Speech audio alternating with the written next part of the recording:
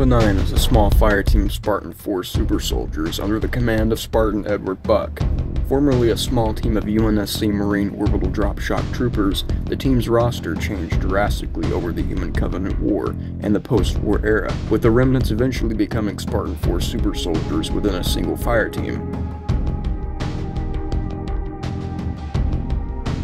Alpha 9 Few squads within the ODST were more proficient and reliable than Alpha 9. After playing a key role in the final days of the Covenant War, their squad suffered the death of one member and betrayal from another, only to be reforged in the end as a powerful Spartan fireteam aboard the UNSC Infinity. The foremost member and leader of Alpha 9, Gunnery Sergeant Edward Buck, over a quarter of a century in combat in the Marine Corps, Edward Buck was a veteran ODST with an already impressive legacy as a leader before becoming a Spartan 4. The gunnery sergeant's infectious bravery, unbroken loyalty, and sacrificial leadership defined his service for years, contributing to his selection for ONI's operation in New Mombasa, a pivotal event that helped bring the war to conclusion.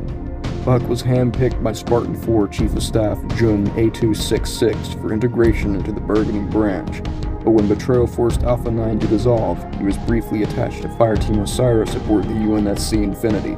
Critical circumstances eventually demanded the reactivation of his old team, and he soon found himself again at the helm of Alpha 9. Former Pelican crew chief Michael Crespo served as Alpha 9's demolitions expert in the field, proving his skill and loyalty during several critical battles in the closing months of the war. The moral dilemma presented by fighting against humans, however, drastically shifted Mickey's allegiances after the conflict was over, leading him to join the United Rebel Front while a Spartan 4. This betrayal nearly decimated what little had remained of Alpha 9.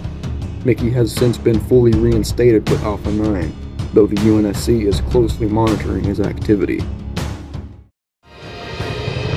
A highly skilled marksman and sniper, Kojo Agu's warfighting abilities are only rivaled by his contentious, abrasive behavior and his irrelevant charm, the latter of which earned him the nickname Romeo. Despite their antagonistic relationship, Romeo continued to fight by Buck's side during the squad's transition into a Spartan fire team. Mickey's challenging betrayal further reinforced Romeo's commitment to Alpha 9. Romeo's talent with the sniper rifle proved particularly useful during a series of strikes against the Created's network of Armiger enforcers, neutralizing the enemy's access to strategic sensor relays, which enabled the UNSC Infinity to safely monitor their movement. Once a road driver on Mars, Taylor Miles fought as an ODST alongside Kojo Agu and Gretchen Ketola his future wife, prior to joining Alpha 9. Dutch's faith and optimism was severely tested when the rookie was tragically killed, causing him to briefly leave the Corps. Eventually, he returned to Alpha 9, this time alongside his wife as a Spartan, stronger and more confident than ever before. Dutch remains the rock of his team, a compassionate and clear-headed soldier whose raw skill in combat and unwavering loyalty never need to be questioned. Amen. Serving with both Romeo and Dutch before they joined Alpha 9, Gretchen Ketola was a remarkable ODST known for her fearlessness and even glee in the face of death. During a fateful operation on Ballast, she lost her left leg when she stepped on an insurrectionist landmine. The physical and psychological trauma of this event caused her to leave the Marines, even if it meant being physically away from Dutch, whom she had recently married. After the war, she accepted an offer to return to combat, her body reforged into that of a Spartan. Likely the most known in the squad, Rookie. The ODST often referred to by his squad as the Rookie was integrated into Alpha 9 just prior to the Covenant's siege of New Mombasa, where he assisted in securing the Tier 1 asset ONI was looking for. He remained with Alpha 9 after the war when the team was redeployed to engage a myriad of new threats, including rebels on Draco 3, where he tragically died while fighting alongside his team. His death was a decisive moment for the team, creating deep wounds that would not be quickly healed.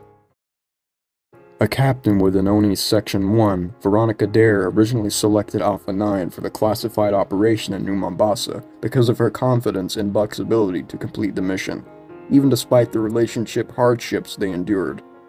Although not formally a member, She has been closely tied to Alpha 9 since then and presently serves as ONI's primary field analyst on the UNSC Infinity.